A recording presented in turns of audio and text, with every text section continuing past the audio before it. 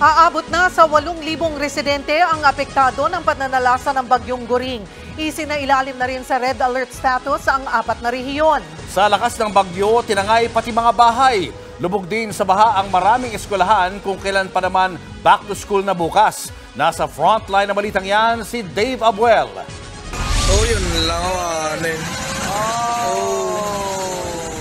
Wanin. Nalan. Oh my God. Yun lang. Sa pulsa video ang aktwal na pagguho ng bahay na ito sa Barangay San Pedro, Narvacan, Ilocos Sur. Bumigay ang lupang kinatatayuan ng bahay kaya tuluyan itong nilamon ng tubig. Umapaw ang tubig sa ilog malapit sa bahay. Bunsod ng malakas na buhos ng ulan dulot ng bagyong guring. Wala naman daw tao sa inanod na bahay noong mga oras na yon dahil nasa ibang bansa ang may-ari. Bukod dyan, limang bahay pa ang tinangay ng tubig sa lugar. Parang may talon sa gilid ng kalsadang ito sa barangay Banawang sa bayan ng Santa sa kaparehong probinsya. Malakas ang ragasan ng tubig na nanggagaling sa taas ng bundok. Kaya maingat ang pagdaan ng mga motorista. Sa Apari, Cagayan, hanggang tuhod ang baha sa ilang bahay dahil sa super bagyong guring. Sa bayan ng Alcala, binaha ang Maraburab Elementary School isang araw bago ang opisyal na pagsisimula ng klase. Ganyan din ang sitwasyon sa San Antonio Elementary School sa Bangkid Abra. Puro putik tuloy ang ilang bahagi ng eskwelahan. Pahirapan naman ang pagdaan sa ilang kalsada sa Rizal Kalinga dahil sa baha. Inabisuhan ang mga maliliit na sasakyan na gumamit muna ng ibang ruta. Nakaranas din ng malakas na ulan ang Zambales. Dahil walang tigil, lubog ang bakanting loteng ito sa barangay San Gregorio sa bayan ng San Antonio.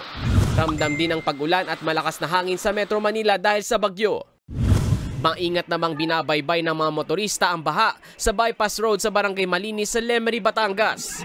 Maya-maya pa, lumusot sa kanal ang puting truck hanggang sa tumagilid. Agad namang rumesponde ang mga otoridad at naialis na ang truck sa kanal. Hindi naman madaanan ang Nasugbu Magallanes Road sa Batangas dahil sa landslide dulot ng pag-ulan. Nakaambalang ang mga sanga ng puno kaya pinayuhan ng mga motorista na dumaan muna sa Cavyang Tunnel o di kaya sa Nasugbu Tagaytay Highway.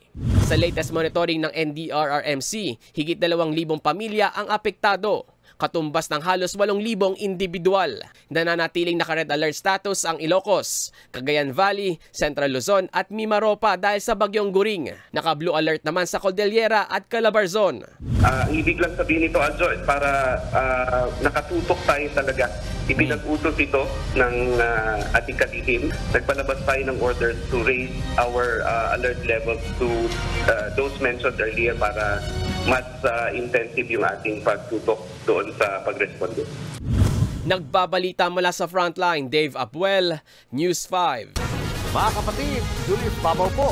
Iba na ang may alam at may pakialam sa panahon ngayon. Huwag maging huli at maging una sa lahat sa balitaan. Mag-subscribe at mag-follow sa social media pages ng News 5.